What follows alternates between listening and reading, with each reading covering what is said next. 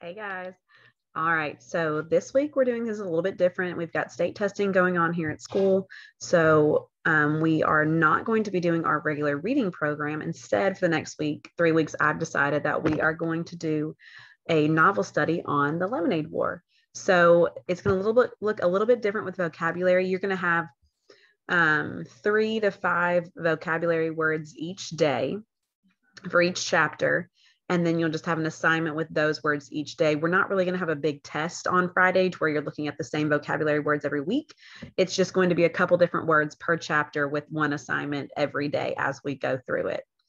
All righty, so let's go ahead and get started with chapter one. All right, chapter one is called slump, and there's four vocabulary words.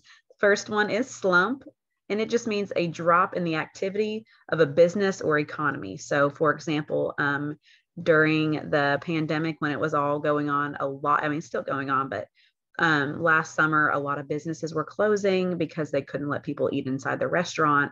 That would be considered a slump. Nudge is to push someone gently. So maybe you nudge someone off the diving board or you nudge someone so that they would continue moving up in line. And then we've got squirrel. So not the squirrel like the animal, but squirrel means to like hide something away, kind of like you're squirreling it maybe underneath your bed or in a drawer. Um, that's what squirrel means. And then the last one is bloom, which means to grow. Alrighty, so those are your four vocabulary words today for chapter one. So you do have a short assignment to practice those words. Um, I will see you tomorrow for chapter two.